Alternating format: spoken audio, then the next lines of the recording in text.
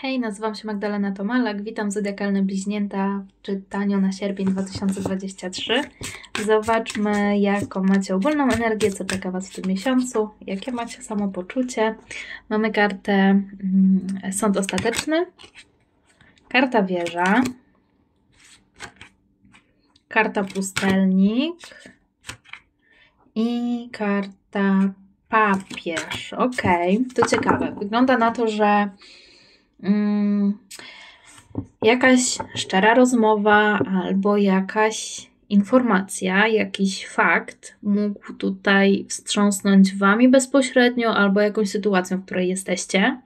Mm, jednocześnie wygląda mi to na to, że jakby konsekwencją tego będzie jakaś zmiana w Was, taka wewnętrzna zmiana, w której zdecydujecie się na na odejście od czegoś albo na, wy, na podjęcie jakiejś decyzji, na zobowiązanie się wobec czegoś, na może na zmianę swojego stanu w jakiś sposób, gdzie może część z Was, tutaj patrząc po, po tej karcie pustelnik, może część z Was była w jakimś stanie takim przygnęb takiego przygnębienia od dłuższego czasu, może jakiejś depresji, czy um, nie wiem, jakieś gorsze samopoczucie, albo sytuacja, która Wam nie służyła, e, w której nie do końca byliście zadowoleni, z której nie byliście zadowoleni, ale też nie mieliście odwagi, nie mieliście siły, może pewności siebie, żeby podjąć jakąś decyzję, żeby tą sytuację zmienić. E, no i tutaj właśnie wydarzy się coś, co wstrząśnie Wami na początku, albo właśnie samą sytuacją, tak? W odniesieniu do sytuacji, może niekoniecznie Was samych bezpośrednio, ale będzie tutaj jakaś taka zmiana, która w jakiś sposób albo wymusi Was, powiedzmy, że mm, nie wiem, no czasami to jest tak, że jesteście w pracy, w której nie jesteście zadowoleni i od dawna myślicie o tym, żeby tą pracę zmienić, ale nie wiecie na co, albo się boicie, albo zwlekacie, odwlekacie cały czas ten temat. I może być tak, że albo na przykład ktoś z Was zwolni, no i to jest taki wstrząs, który no już nie macie wyjścia, tak? Albo może być tak, że sytuacja w pracy na przykład tak się zmieni, um, że podejmiecie decyzję, że bo już będzie już tak źle, że już nie będziecie mogli po prostu tego wytrzymać. Tak? I to Was w jakiś sposób postawi, zmusi do tego, żeby tutaj jakąś zmianę wprowadzić, żeby e, jakąś decyzję podjąć, tak? Um, bo takie no wiecie, niby takie drastyczne sytuacje, to niekoniecznie, to nie mówię też o tym po to, żebyście się bali teraz, że nie wiadomo co się wydarzy. To się dzieje w takich sytuacjach, w których my wiemy, że coś trzeba zrobić, w których my chcemy coś zrobić, ale coś nas powstrzymuje, tak? Cały czas nam brakuje e, tego impulsu do tego, żeby tą zmianę zrobić, więc to jest ten, o ten impuls mi tutaj chodzi, tak? To jeżeli jesteście w pracy w jakiejś firmie, w której jesteście zadowoleni i nie macie zamiaru zmieniać, no to to, to, nie, to nie chodzi o tą sytuację w takim momencie, tak? To nie mówię tutaj o tym, że coś złego się wydarzy, e, co wywróci wasze życie do góry nogami, raczej na zasadzie, że co, coś was popchnie w kierunku decyzji, którą chcecie podjąć, a z którą zwlekaliście od jakiegoś czasu.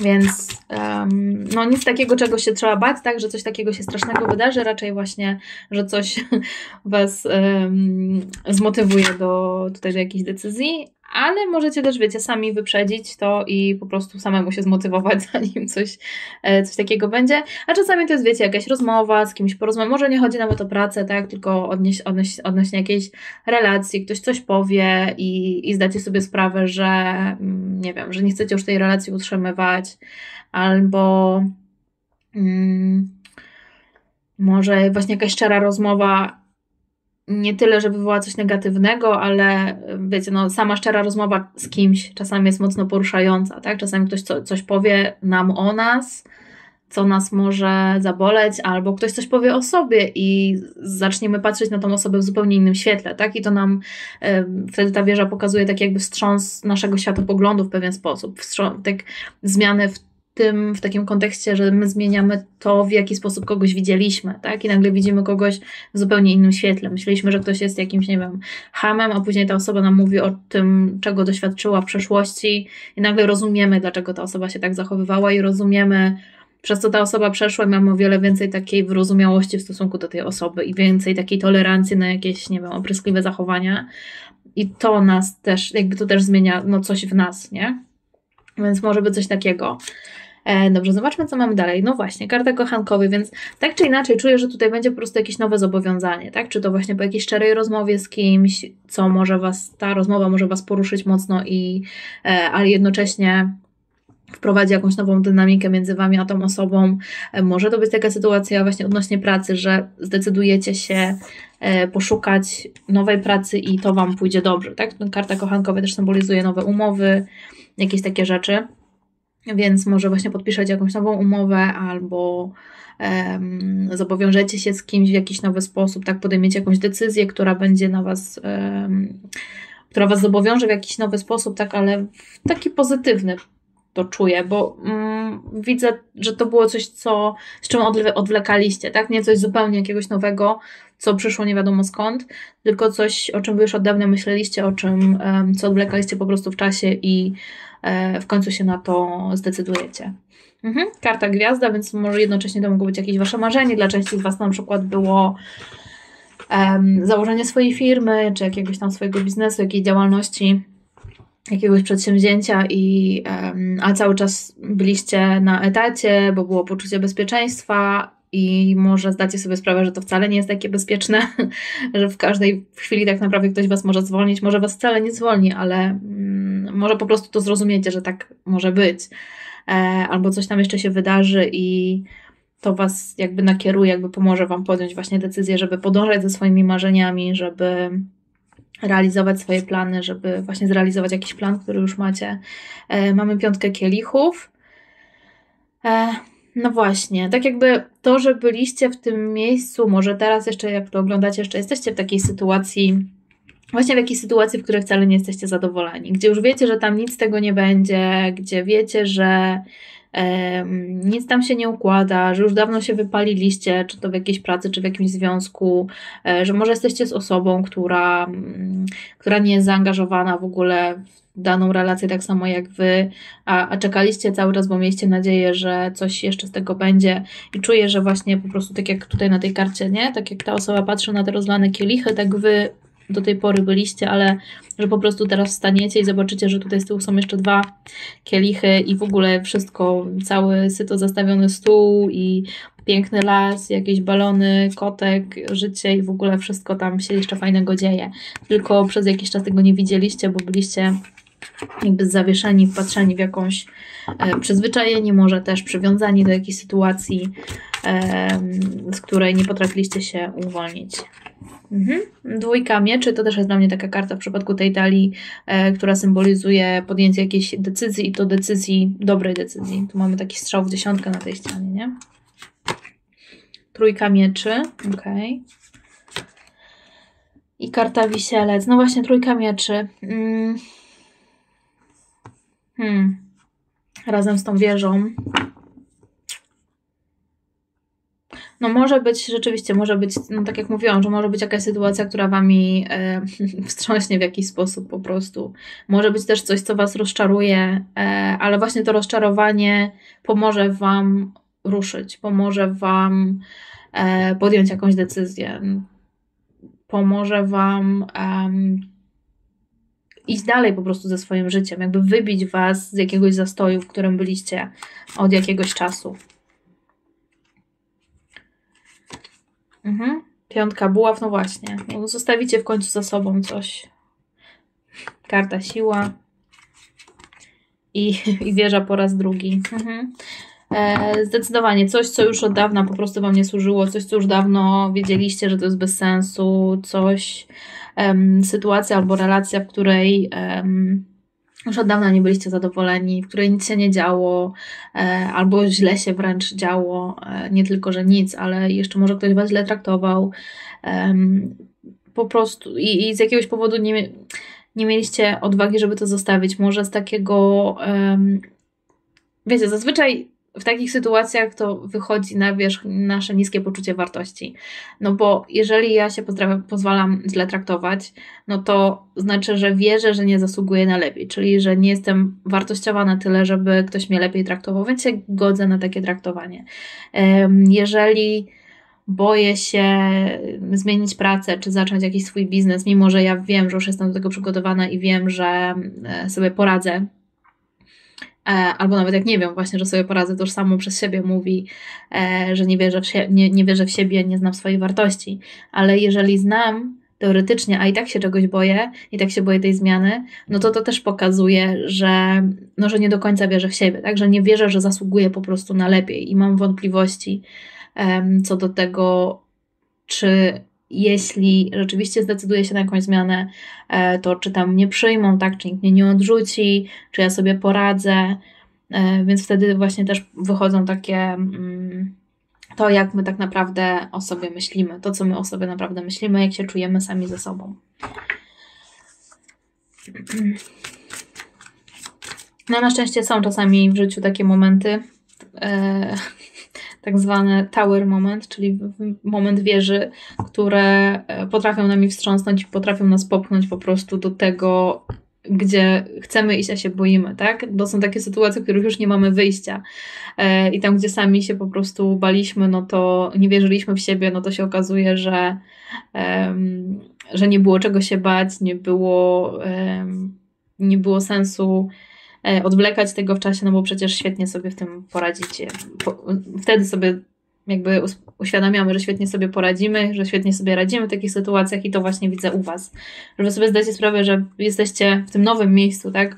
Że jesteście dokładnie na tym miejscu, na którym powinniście być i będziecie się dziwić, dlaczego tak długo z tym czekaliście, dlaczego czekaliście tak długo z tą decyzją. No wiecie, to też było potrzebne, tak?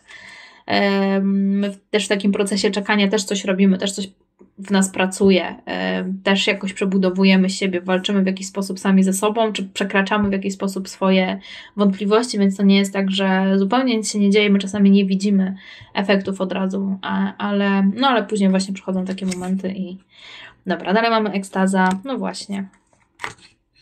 E, chęć odwetu to jest dla mnie karta stania na progu, tak? Czy iść w tą, czy nie czy podjąć jakiś krok, czy nie. Karta gniew, no właśnie, to taka motywacja, która Was zmotywuje, e, znaczy taka energia, tak, e, motywacji, która Was e, no, zmotywuje, zmotywuje, która Was ruszy do tego, e, pociągnie do tego, żebyście zaczęli działać już w jakimś konkretnym kierunku. Karta napięcie, no właśnie, zobaczcie, mamy tutaj kogoś, kto przechodzi po linii, jakby wiadomo, z jednego miejsca do drugiego, tak? Czyli wy z jakiejś jednej sytuacji do drugiej i owszem, przechodzimy po linie, więc jest tutaj stres. Jest to, no jest jakieś napięcie, tak? Nie mamy pewności co do tego, co tam będzie po drugiej stronie, czy my sobie poradzimy, ale to się zawsze pojawia. No ale każdy sobie radzi.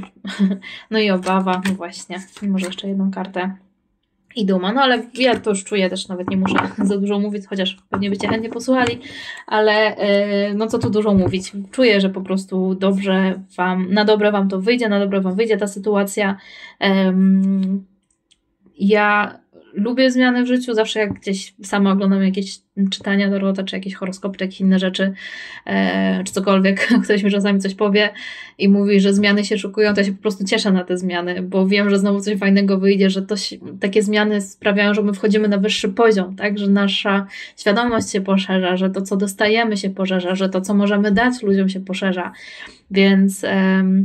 Ja się zawsze po prostu cieszę z tych zmian, więc jak nawet u Was widzę, że jakieś zmiany idą, to ja już wiem, że to będzie na lepsze i wiem, że na początku będzie to um, stresujące.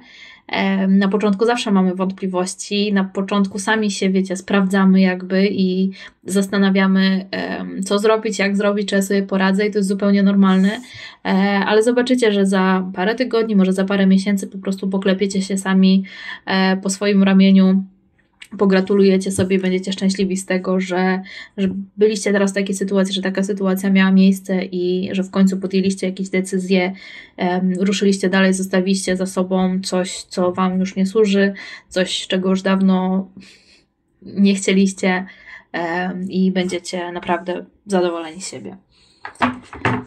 Dobrze, weźmy jeszcze jakąś kartę porady dla Was mamy karta uziemienie. Mm, Okej, okay. w takich właśnie sytuacjach, w których rzeczywiście dużo się dzieje, jakieś nieoczekiwane zmiany, żeby. O, i tutaj jeszcze mamy przepiękną, chyba moja ulubiona karta z tej talii, e, wdzięczność, taka śliczna, różowiutka. E, wyciągnę też. E, w takich momentach, kiedy właśnie jest jakiś taki wstrząs, coś się niespodziewanego dzieje w naszym życiu, a mamy w sobie dużo negatywnych emocji, dużo jakichś negatywnych przekonań na swój temat, e, no to te wątpliwości, te obawy będą z nas wychodzić. I dobrym momentem, dobrym sposobem na to jest, na to, żeby sobie z tym poradzić, jest bycie tu i teraz. Możecie sobie pooglądać, poczytać um, Eckharta Tolle. E, on tą książkę napisał Potęga teraźniejszości. A jak nie, to jakąkolwiek inną metodę po prostu takiego, żeby być tu i teraz. Takie te metody mindfulness, czy takiej świadomości, obecności, uważności, e, żeby być tu i teraz. I możecie robić sobie też jakieś medytacje uziemiające, albo po prostu jak zauważycie, że pojawia się w Was dużo negatywnych emocji, dużo obaw, dużo jakichś takich czarnych scenariuszy, dużo myśli, e, jakichś negatywnych, no to tak świadomie musicie się w tych momentach po prostu uziemiać, tak? Możecie sobie chwilkę zamknąć oczy, pomyśleć sobie, że, że jestem tu i teraz, czy teraz coś strasznego dzieje się w moim życiu. No nie, bo siedzę sobie w bezpiecznym, nie wiem, domu, czy gdzieś tam, e, mam jedzenie w lodówce, mam, nie wiem, cokolwiek, co tam macie dookoła siebie, e, dach nad głową, tak? E, I, i, i żeby poszukać sobie tego poczucia bezpieczeństwa, tak? I, I ściągnąć się właśnie myślami do tu i teraz. Dużo jest różnych metod na ten temat, nie będę się tutaj roz, rozwijać. E, możecie sobie znaleźć. No i też karta wdzięczność.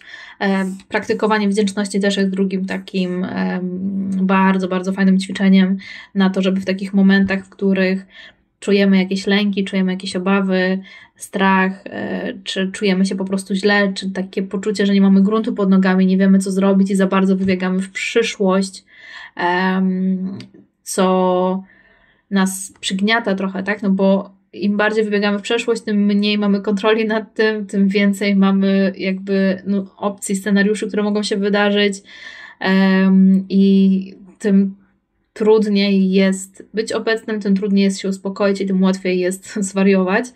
Więc takie skupianie się też właśnie na, na wdzięczności, na, za co jestem wdzięczna teraz, tak? I szukanie sobie jakichś tam drobnych rzeczy też sprowadza nas do takiego tu i teraz, tak? I nastawia nas bardziej pozytywnie